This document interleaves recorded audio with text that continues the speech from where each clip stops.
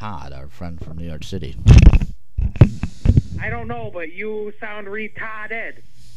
I do. I Well, sound. what, what I'm calling is, have you heard the good word?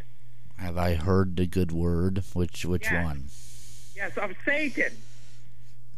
Of what? Yes, he he came to me last week. He came to you last week. Yes, Oh boy.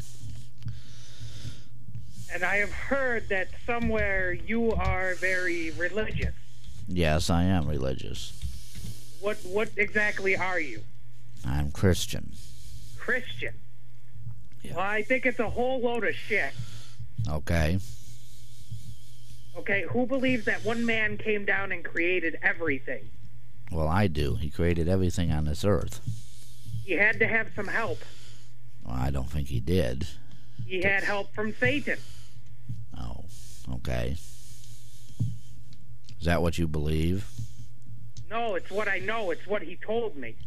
Oh, I live in the upper side of Brooklyn. yeah. So, what is Brooklyn like right now?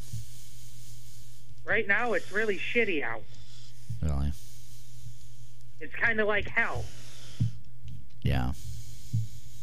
You know, have you been to hell yet? Have I been to hell? Absolutely. Absolutely. And every Friday, it's like hell. I come in here. I come in here, and I got people that can't run my message board right. I have people that can't run the phone board right. Well, aren't you the only person on the show, sir? No, I have a phone. I have somebody that's running my board tonight. Are they Christian too?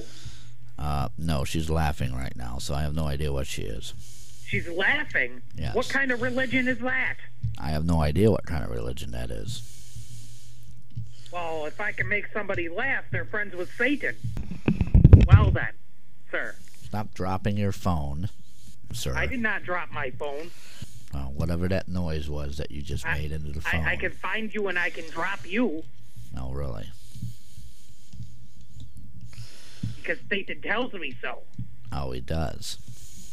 Because nobody can do take the power of Satan. All right. Well, you have a nice day, sir. Weird person on the program. I apologize for these people. Um, and we'll be right back right after this.